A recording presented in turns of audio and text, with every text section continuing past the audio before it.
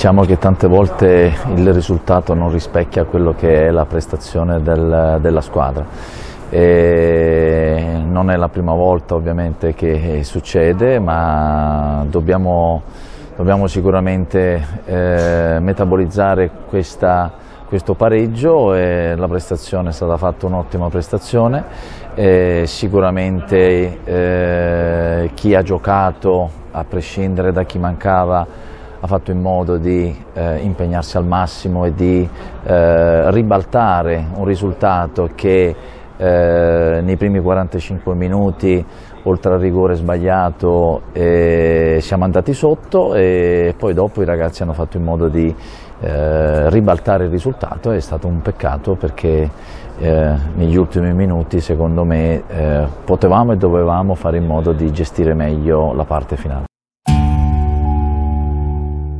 Questo fa parte della pandemia e poi a prescindere da infortunio o squalifiche, parlo della pandemia, bisogna, bisogna fare in modo di eh, accettare quello che sono, sono, sono gli esiti e, e, trovare un 11 che possa, unito ai giovani, possa trovare un 11 che eh, dia eh, quella, quella, forza perché eh, rinunciare a tante partite, rinviare tante partite e poi trovarsi trovarsi a giocare ogni, ogni, tre giorni sicuramente poi dopo non è facile, quindi eh, abbiamo, abbiamo, deciso di, di giocare e, e chi ha giocato ha fatto quello che doveva fare. Eh, giocare sicuramente una gara in un campionato importante come questo bisogna eh, essere presenti e, eh, e giocare eh, con tutte le forze possibili e immaginabili. È ovvio che andare a giocare una partita dove non ci sono quelle forze,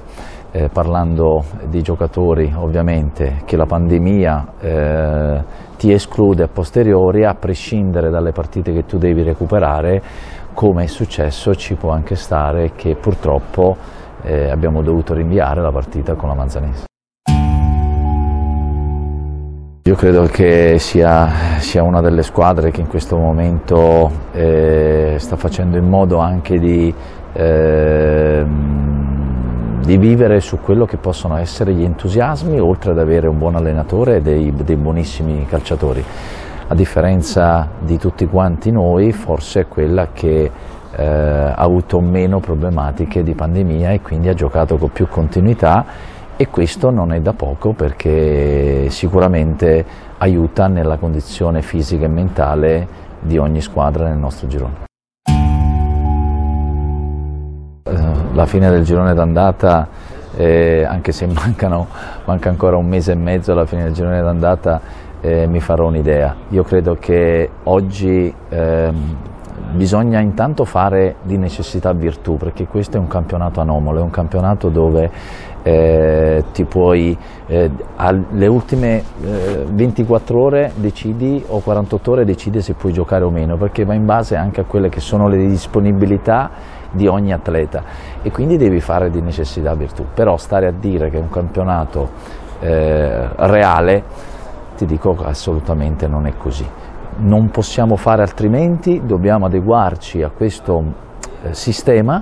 eh, perché se no si chiude baracca e burattini e quindi eh, non, non, conviene a nessuno, ma parlo nel nostro settore come possono essere negli altri settori, perché comunque noi dobbiamo andare avanti anche con queste eh, enormi difficoltà e allo stesso tempo bisogna eh, fare in modo di farsele scivolare. Grande attenzione, ma, ma farsi scivolare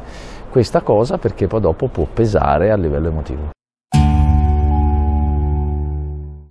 Beh, noi eh, per quello che io ti parlo fino alla continuità che noi abbiamo avuto la partita con eh, la Clodiense, la squadra aveva avuto un cammino, tuttora è un cammino importante sicuramente, però era arrivato a, un, a una fase dove eh, una, stava raggiungendo una maturità che dal mio punto di vista doveva solo poi dopo continuare. Siamo stati un mese fermo,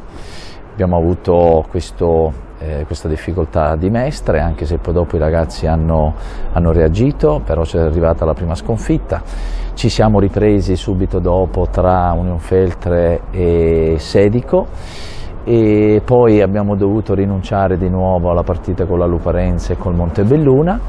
Anno nuovo siamo riusciti a raccogliere i cocci per andare a giocare a, a Caldiero e, e questo, è il, questo, è il, campionato, quindi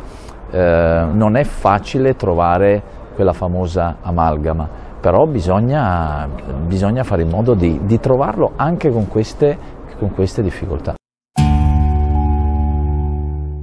Sì, mi aspettavo questo, l'unica cosa che ovviamente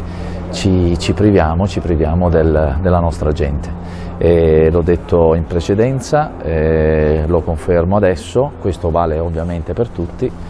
però rispondendo alla tua domanda sicuramente io credo che il tifoso trentino eh, che riempie qui la tribuna del, del Briamasco e i nostri tifosi dall'altro lato che fanno in modo di stare vicino ai ragazzi, purtroppo questa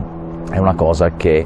in questo momento devo, devo astenermi ad avere questa forza da parte loro, anche se eh, fuori dal campo trovandoli in centro, trovandoli per strada e sui social ci stanno sempre molto vicini e quindi li ringrazio.